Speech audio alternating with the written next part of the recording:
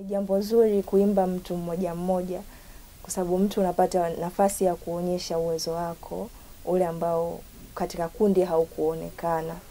Kwa hiyo najisikia fahari, najisikia raha tu ku, ku, kuwa peke yangu siku hiyo, kujitetea kwa, kwa kiwango changu mimi. Kwa hiyo naona tu ni sawa.